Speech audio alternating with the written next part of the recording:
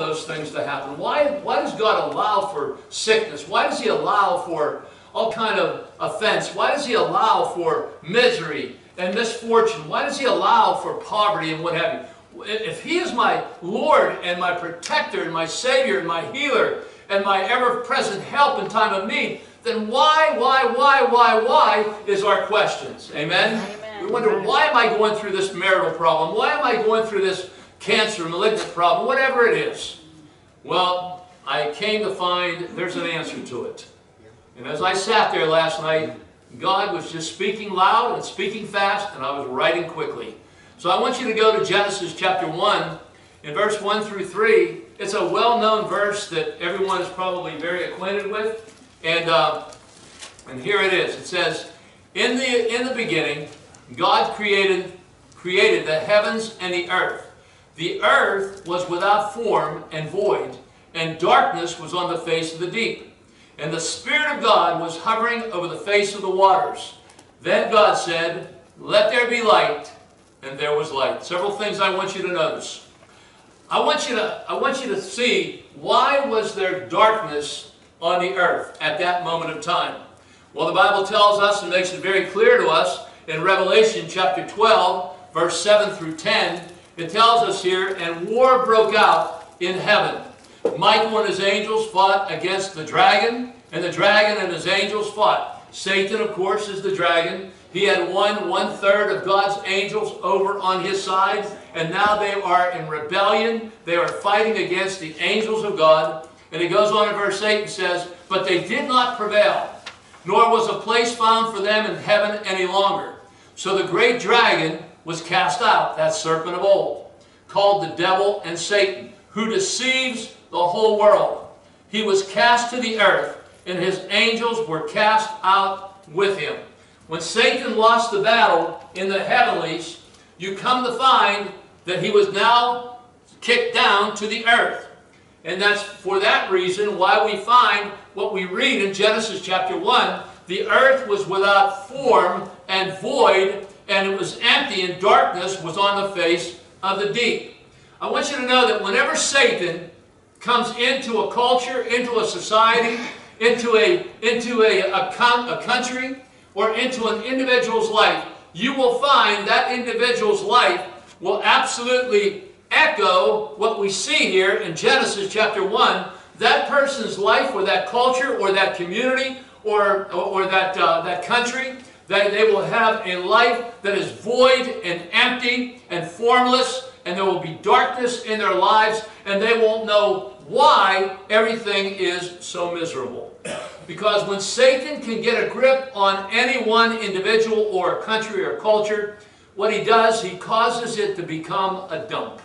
Wherever his presence is, there is nothing more than a dump. And that's what the world, that's what the earth looked like at the very onset. Because it says in Genesis, but it said in Genesis chapter 1 verse 3, but God came along and said, let there be light. And the darkness was destroyed. God said, let there be light. And the darkness was destroyed. Now we know in John chapter 4 verse 8, the Word of God there says that God is love. Amen? We also find out here, God is not only love, but God is light. It says in John chapter 8, verse 12, Jesus said, I am the light of the world. He who follows me shall not walk in darkness, but have the light of life. So when you are walking in the love of God, when you are walking with God in the love of God, then you are also going to see that you are going to be walking in the light of God. Amen. Amen? Jesus Christ came as God in, uh, incarnate, so he is God. And when he came, not only did he show immeasurable love, but he showed immeasurable light. And so you know when you are in love with somebody, did you ever notice if anybody was ever in love when you were first in love with your husband and now maybe you want to kick him to the curb? But in those early days when you were in love with them, or you were in love with your, your, uh, your, you were in love with your wife, okay? You know, you had such a glow about you. You didn't go around like a sourpuss. You didn't go around as if you just uh, jumped into a cesspool, you had a glow about you because love and light kind of go and join together. Amen? And so that love will radiate. So what I want to show you, I had shown you very quickly Genesis chapter 1 verses 1 through 3, and I had shown you Revelation chapter 12, and a lot of times when we read the Word of God, we think, well, that was for then. But I want you to know that there's something called exegetical, there's the homiletical. Exegetical, if I don't have these wrong, exegetical is when you read something about the time that it was written. Homiletical is when it applies. Am I right on this, Brian? Mm -hmm. When it applies to you. So we're going to take, for the moment, this is just something that hit me last night and I start writing it. I want you to know that Genesis chapter 1, verses 1 through 3, and Revelation chapter 12 also applies to our life. Let me show you, and I wrote it down as the Lord was giving it to me. Genesis chapter 1, verse 1 through 2, 1 and 2, it says, In your, God said, in your beginning, God created you. Even from the beginning in your mother's womb. You won't find this on a board. You were without form and void. And you were born into a world of darkness that is still roaming on the earth. And the Holy Spirit of God was hovering over you, waiting for God to speak life into your life. Amen? Amen? Amen. And then here came Genesis chapter 3. Genesis verse 3, I'm sorry, chapter 1 verse 3. Then God did speak over you at a particular moment of time. It could have been when you were 20, 30, 40, maybe 50, I don't know. Only you know the time when now the privilege of salvation was coming to you. And it says here, God said to me, uh, God did speak over you, let there be light. And there was the introduction of the light of Jesus Christ that came into your life and the darkness was removed. The moment you got saved, you are now a new creation in Christ Jesus. Old things pass away, all things become anew. You should not be walking in darkness, living in darkness, and living in a dump. You should be living in the light of Jesus Christ. Amen? And that's really what, how this applies to our lives. Now we know that we have an enemy of our soul. We know that Revelation chapter 12 if you read further on, and I didn't write it down, but it goes on and it says that Satan knows that his time is short. He's very furious. And he knows that we are the wrap-up generation, and he's going to hit us with everything he can to deflect us off course. Yeah. Amen? But Jesus said in John chapter 8, verse 12, He said, I am the light of the world. He who follows me, he who follows me just because you sit in the church doesn't make you a Christian. He who follows me shall not walk in darkness, but have the light of life. So even though we can avoid walking in darkness, the question is, why does God allow for darkness to appear in our lives? Anybody ever asked that question? Here's a simple answer. I didn't have a lot of time to put a whole lot of beautiful stuff behind it and fluff it up. But here's the simplicity in the answer. That His glory can not only be seen, but also be touched and to be appreciated. Amen. So the glory of God will be seen by you. And we're going to be getting a little deeper into that. Amen? So in Ecclesiastes chapter 3, verse 1 through 3, the great Solomon, the wise, the wise and powerful Solomon, he was inspired by God to write that there are differences and oppositions in life, whether we like it or not. Because there he says, in verse 1 through 3, he said, To everything there is a season, a time for every for every purpose under heaven, a time to be born. I kind of put this in my own words here.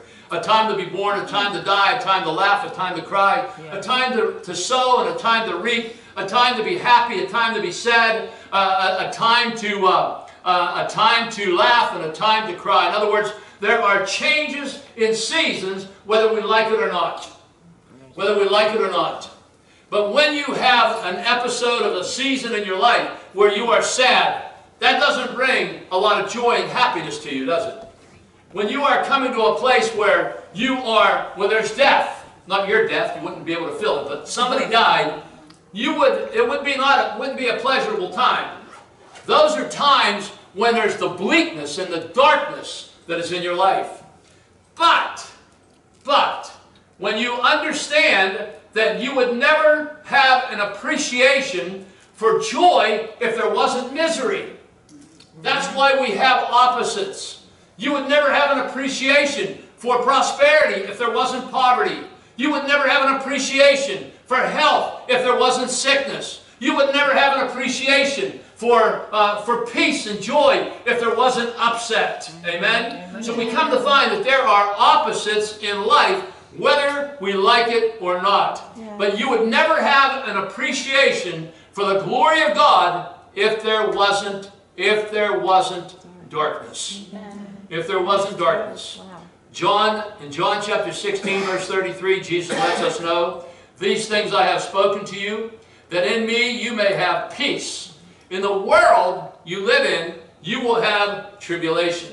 You will have a lot of offenses. You will have a lot of trials, a lot of suffering, a lot of, a lot of problems. But Jesus said, But be of good cheer. I have overcome the world. Be of good cheer. I have overcome the world. Who has overcome the world? Jesus. Yes, we know Jesus. But love and light has overcome the world. Jesus is God. He is love. He is light. And therefore, He brings love. He brings light. And He sheds that love and that light on our problem. And He drives away the darkness for you to see the glory of God in through the whole circumstance. Amen? Just like Genesis chapter 3. God said, I am the light of the world. He spoke and said, Let there be light, and therefore the darkness was remissed. So if you're living in Christ, you will have problems. But the difference will be if you're living in Christ, if you're living in Christ, yes, you will have problems, but they won't have you. They won't have an attachment whatsoever over your life. So we now know that God allows darkness to appear in our lives, and we now know why, for His glory to be seen. Amen? I want you to catch this verse because this is a powerful verse. 2 Corinthians chapter 4, verse 6. How you doing back there, Tyler? Okay. Good, okay. For it is the God who commanded light to shine out of darkness. It is the God who commanded light to shine out of darkness, who has shone in our hearts to give the light of the knowledge of the glory of God in the face of Jesus Christ. I want to say that slow so you catch it, okay? It is the God who commanded light to shine out of darkness, who has shone in our hearts to give the light of the knowledge of the glory of God, to give the light of the knowledge of the glory of God in the face of Jesus Christ. In other words, what, what Paul is saying here as he wrote this scripture and was inspired by God to write this scripture for all generations, whenever you are going through a very bleak, a very dark, a very gloomy moment, when it seems like God is so far from you, if you are living in Christ and you are being true to Christ and hold on to the peace of Christ and knowing that He is love and He is light, then all of a sudden you may not even understand what's happening, but in due season, all of a sudden there's going to be a little sparkle of light, a little sparkle of hope. Something is going to break loose. It may be so minute you wonder, did I catch something? Did I see something? But that light is going to get greater and greater and greater and greater. The darker the dark, the more outstanding will be the light of His glory that will shall be shown in the midst of your darkest hour. Amen? Of your darkest hour. So we come to find that every time darkness shows up, God allows it so that His glory can be witnessed. And that's kind of the, the main uh, crutch of what I want, crux of what I want to share with you this morning. Darkness is necessary so that the glory of God will be seen. Just like a jeweler. Do you ever go into a jewelry shop and you want to buy a, a diamond ring? You know, you want to buy a $5,000 diamond ring. Mm-hmm. Did you ever say, let me see that ring? Did you ever see that a jeweler will take the ring and just throw it up on the counter? Doesn't do that, does it? Mm-hmm. Do they? They take a black cloth and they use it as a backdrop. Mm-hmm. So that when you see the beauty of that diamond, the blackness of the backdrop emulates the beauty of the diamond. That's how they get you. Okay? Well, I want you to know your moments of discomfort, your moments of distraction, your moments of tribulation and trials that come your way, they're nothing more than God has allowed it to be the backdrop because He's about to show you something glorious. Amen. He is our heavenly jeweler. And He's going to show you the jewels of heaven, which is His Son, and He's going to let you see how brilliant, how glorious, and how immaculate He is. And the only way you're going to see Him is when you are going through a problem. I used to live in Las Vegas. We used to swim 100 degrees temperature, sometimes 105. We get in that swimming pool and we'd stay in there because we were frying.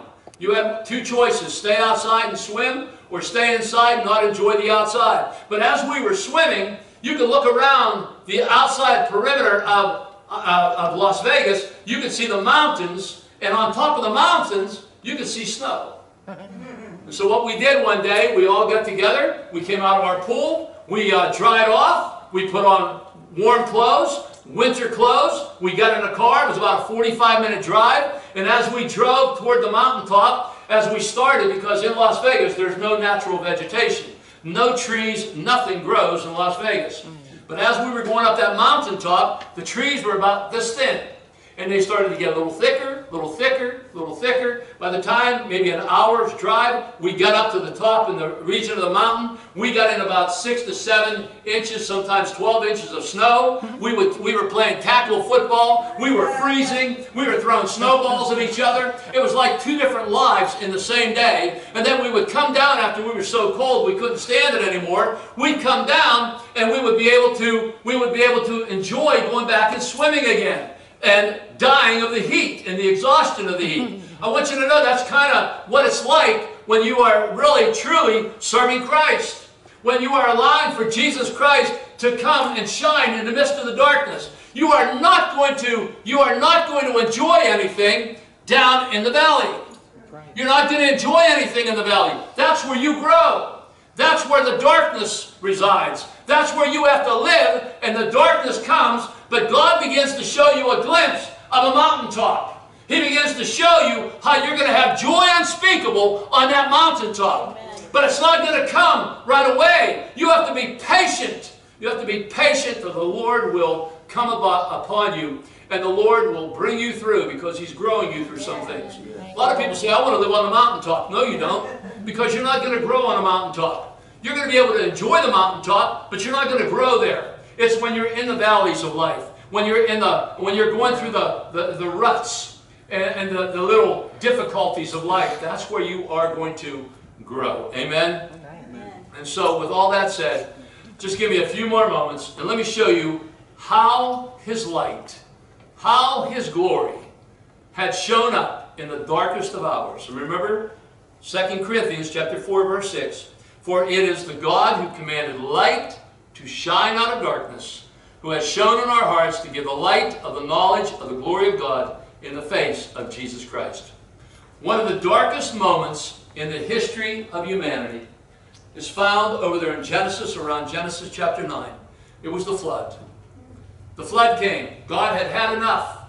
God had had enough, and He said, I'm not putting up with it anymore because they have mocked me, they ridicule me, they don't believe in me. So He gets a man by the name of, as you know, He gets a man by the name of Noah, and for over a hundred years, Noah is building a boat. And he's going into the city every night as he puts the hammer down, he and his three sons. And he's going into the city and he's preaching about God's plan of salvation, that they need to turn their hearts around. But they mocked God, they laughed at Noah, they ridiculed Noah, and God knew, I've had enough, and therefore God brought the flood.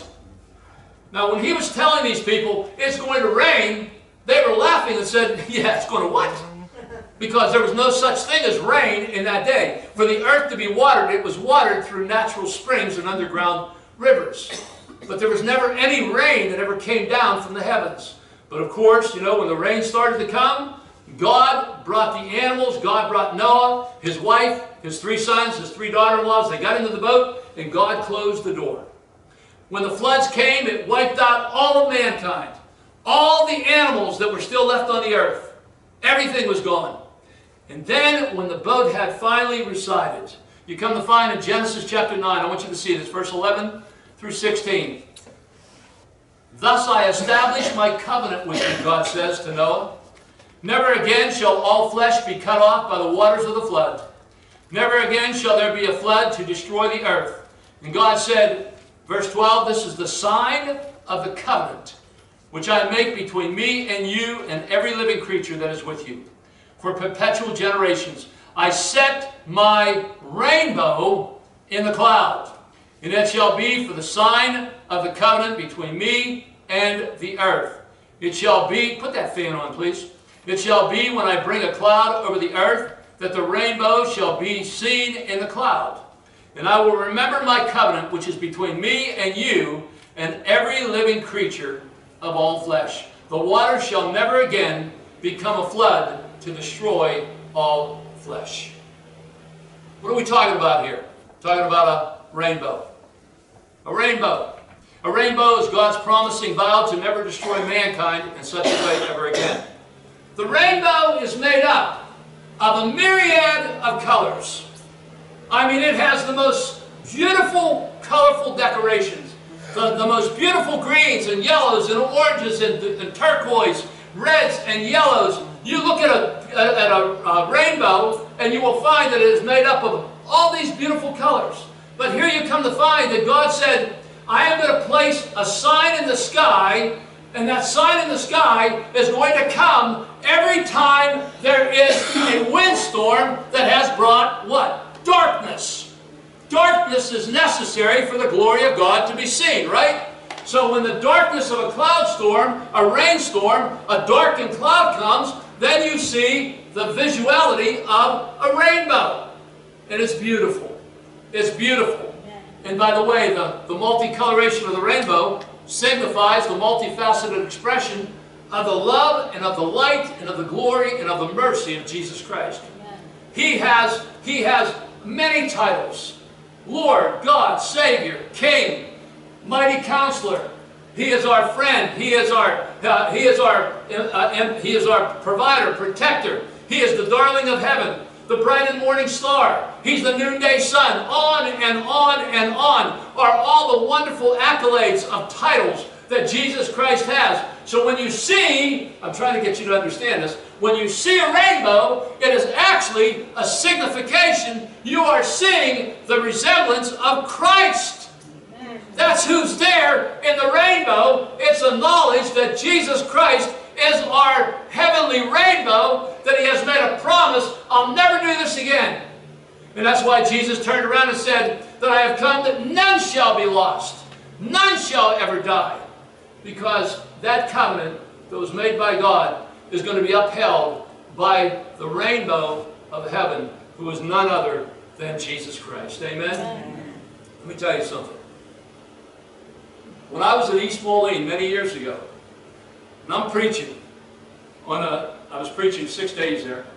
One of the evening services, a man walks in, I think it was Sunday night to be honest with you. A man walks in, totally inebriated. I wasn't sure how they were going to handle him. Here, his wife just started coming to church. She looked like a battered woman. And she's sitting in the back of the church, and few people even had known her because they just started, he, she just started coming to church. He walks in, he is, he is bouncing, he can't walk a straight line, and he sits near her, and I could see, because I'm preaching, I could see she didn't want him near her, so she's kind of like, get away from me. But he comes in, and when there was a time for an altar call, he comes staggering up to the front. The pastor, knowing that there's going to be probably a problem here, he come over to stay with me. I didn't even touch this man. I turned around and I wanted to pray with him. He went down in the spirit. He went out like a light. And he was gone. Now how long did he go? They intended to take me out that night to have some pie and some cake and some coffee. You know, a few of the elders, the pastor, his wife and such. And generally speaking, it takes maybe a half an hour to close up the church and everybody's out of there and we can get going. This guy was still laying on the floor. He was, he was laid out to the point. Almost an hour went by. They finally, the elders came and the pastor got them to grab him, his limp body, carry him out, put him in the back seat of her car, drive him home. They followed her, and then they took him out of the car and put him in bed, and that's all I heard the next morning from the pastor. He shows up the next night. When he shows up the next night, he is sober as sober could be. And he came to the front for another time of prayer, and he said, let me tell you something. He said, I don't know what hit me, but when I went down on the floor, I saw the most crisp, the most riches of colors. I saw the reddest red, the most beautiful green, the most unbelievable yellow. He was mentioning all these colors, and of course at the time, God didn't give this to me, and I'm thinking, wow, okay? But you know what? That man, long story short, over the many months later, he became an elder in the church. He is absolutely acknowledging of the Word of God. He is there. He has found his gift. He's in the gift of helps. He's there. He, he takes care of anything and everything the church has need of. And he has been baptized in the Holy Ghost. He has the ability to speak in other tongues. I mean to tell you, what a change. Amen? Amen. So he received total intimate identification of Jesus Christ, the rainbow of heaven that touched his life. The Second Chronicles is another episode. A time where the children of Israel were living in a very darkened moment because they were in unbelievable uh, apostasy and they were into idolatry. Solomon was the king at the time and God had inspired Solomon. I want you to, I want you to go ahead and I want you to be, rebuild the, uh, the temple. Solomon did. When he rebuilt the temple, God gave Solomon and the people a word of hope, which was a light of hope. Sometimes that light will come in the form of a word from the Father's mouth. Here came a light of hope. Second Chronicles chapter 7, verse 14. You all know it. If my people who are called by my name, speak it with me. Say it with me. If my people who are called by my name will humble themselves and pray and seek my face and turn from their wicked ways, then I will hear from heaven and will forgive their sin and heal their land. Now my eyes will be open and my ears attentive to prayer made in this place. For now I have chosen and have sanctified this house, that my name may be there forever, and my eyes and my heart will be there perpetually. And that promise that God had given to the nation of Israel was not only given for their benefit, to see their culture, their country healed, God has given it to you and to, uh, to me. Whenever darkness has prevailed over our nation, we shouldn't be boo-hooing and saying, now what are we going to do? No, it is the backdrop because God is about to do something powerful. You're about to see a magnificent display of the glory of God invading the, the, the, the community, the culture, the country. And it's going to come because we are praying together, asking for forgiveness of our country, the sins of our country, not just our own, and turning from our wicked ways and turning to the Lord and allowing for God to be God. Can you say amen? amen? So Jesus, here's another episode. I'm almost done. Stay with me. Jesus, he's hanging. He is the light of the world, hanging on the cross. I didn't know I had so much stuff. I mean, I was writing like a fool here. Yes. He is the light of the world, hanging on the cross. And in Luke chapter 23, verse 39 through 43, said one of the criminals who were hanged, who were hanging, blasphemed him, saying, If you are the Christ, save yourself and us. But the other answered, rebuking him, saying, Do you not even fear God, seeing you are under the same condemnation? And we indeed justly, for we receive the due reward of our deeds. But this man has done nothing wrong. He's innocent. Then he said to Jesus, Lord, remember me when you come to your kingdom. And Jesus said to him in verse 43, Assuredly, I say to you, today you will be with me in paradise. You had two criminals. One was mocking God. One was uh, he was rebuking Christ. He was uh, he was joining what he did. He joined the crowd.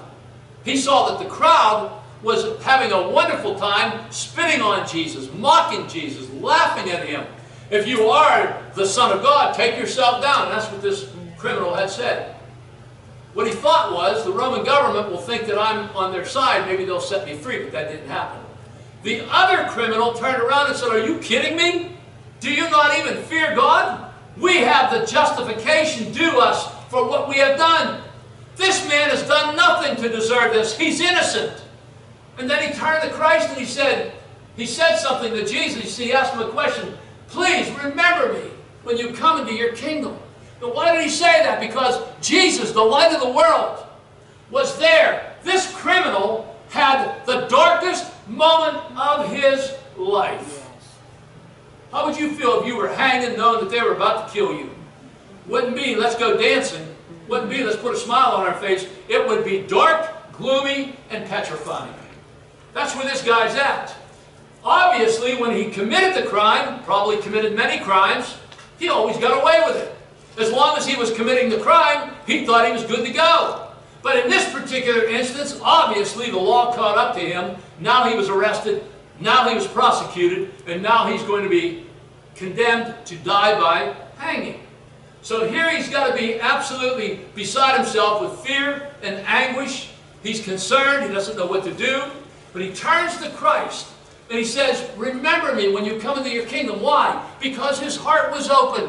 His heart was open to Christ. And the light of this world, who was none other than Jesus Christ, the love of God himself, came emitting love and light into the heart of this convicted criminal.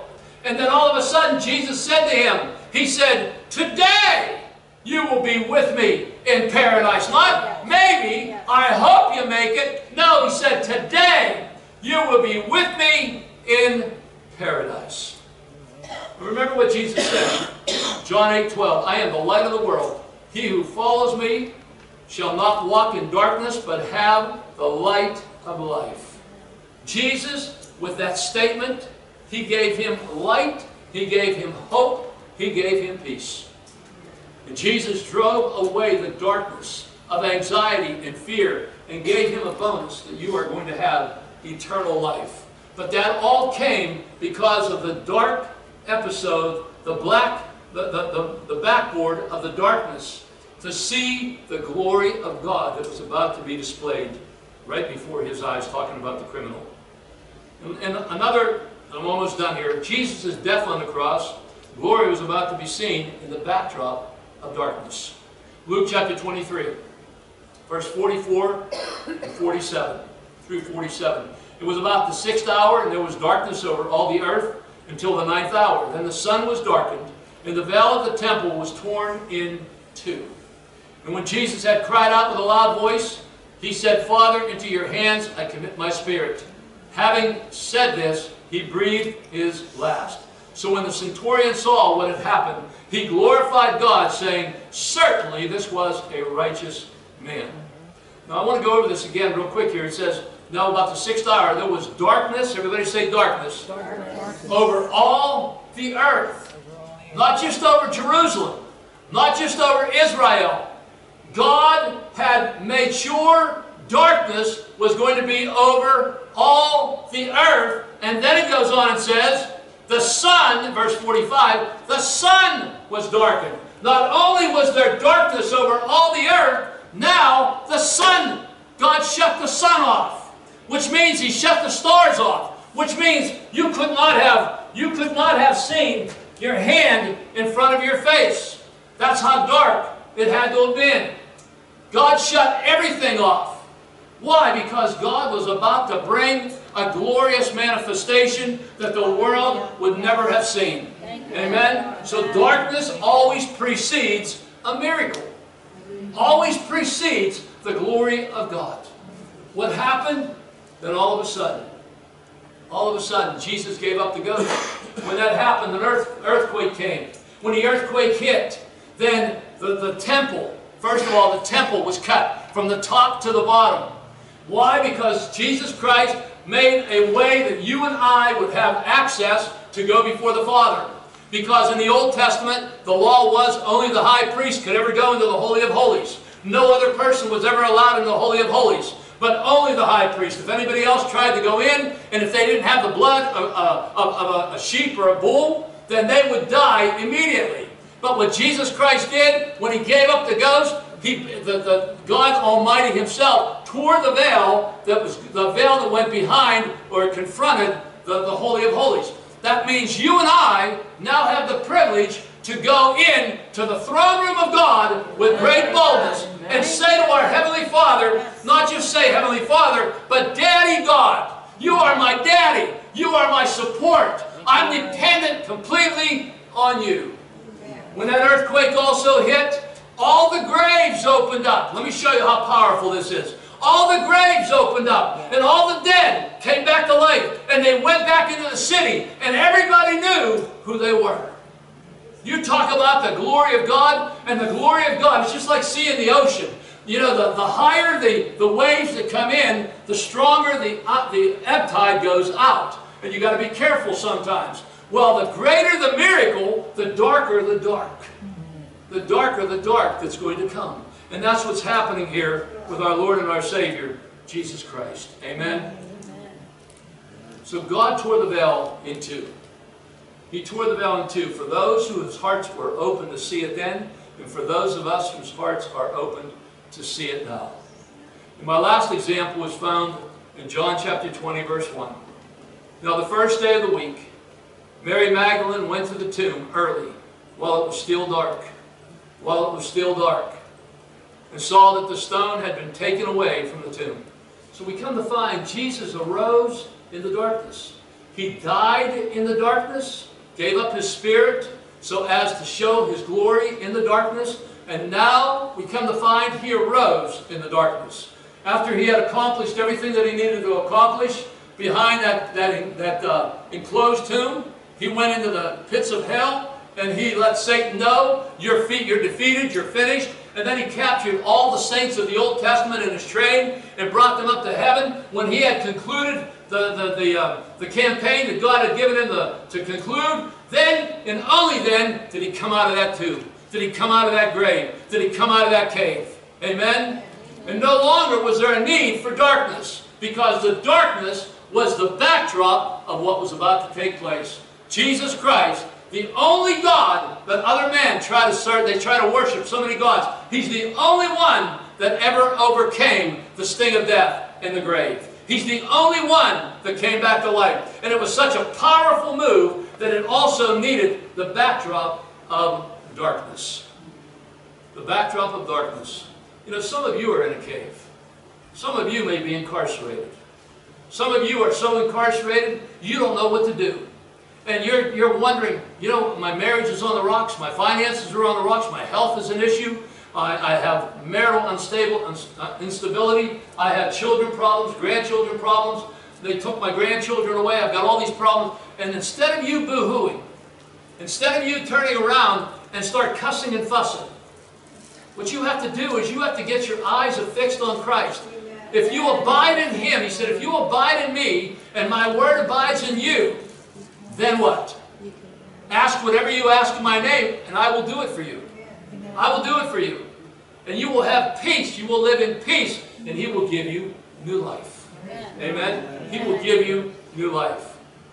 So we come to find the darkness, the darkness was not able to hold Jesus back. It was the backdrop for the glory that was about to be seen. So this issue leads to a dark, gloomy mindset unless you apply John 16, 33. These things I have spoken to you, that in me you have, may have peace, in the world you will have tribulation, but be of good cheer. I, the light of the world, the love of God, have overcome the world. Amen? Amen. And don't forget 2 Corinthians chapter 4, verse 6, where it is the God who commanded light to shine out of darkness, who has shone in our hearts to give the light of the knowledge of the glory of God in the face of Jesus Christ. The whole reason why God allows darkness, a darkened situation, a gloomy, a gloomy, seems like hopeless situation to now all of a sudden prevail is because He's about to show you something that's going to blow your mind. He's about to let you see something that is going to bring glory like you've never seen before. He is about to absolutely, and only God is going to get the glory for it because only He can do what He's about to do. So the darker your dark moment is, the more magnificent your miracle is going to become. The Bible makes it very clear. It says in Psalm chapter 30, verse 5, Weeping is but for a season. Weeping is gloomy. Weeping is dark. Weeping is tiring. But joy comes in the morning. Joy comes in the morning hour. And that joy is unspeakable. You won't be able to tell people what it's about. And it's full of glory. Amen? So we need to have that understanding of that backdrop. And finally, finally, finally, can I have one more second of your time? Acts chapter 1, verse 9. Uh, Jesus Christ is about to be rose up into the heavens. It says, Now when he had spoken these things, while they watched, he was taken up, and a cloud received him out of their sight. Anybody getting that? A cloud received him.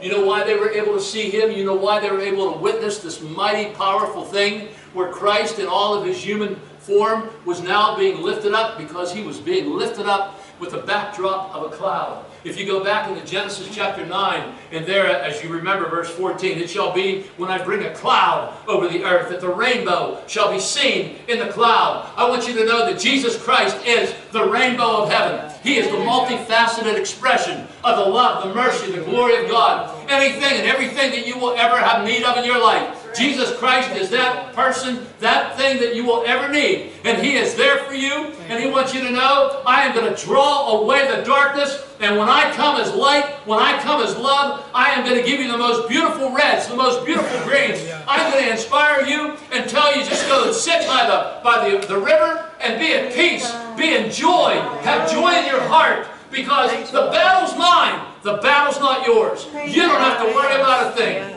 I'm going to take care of you. Can you say amen? Would you stand with me and give the Lord a shout of praise? Hallelujah. Thank you, Lord. Thank you, Jesus.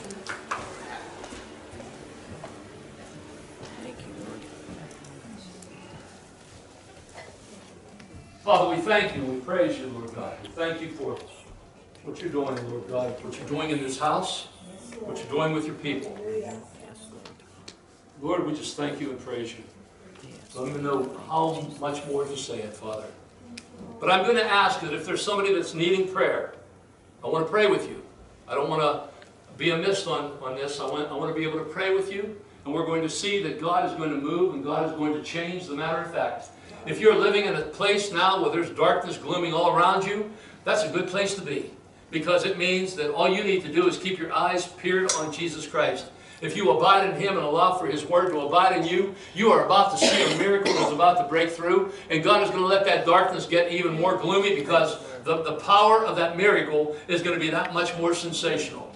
So whatever it is you have need of, if you want to come up here, I'm going to pray with you very quickly, and we are going to see the, uh, the, the, the, the Lord is going to just transpose things. He's going to move you out of the misery, and He's going to bring joy unspeakable into your life. If there's anybody that has need, come up here.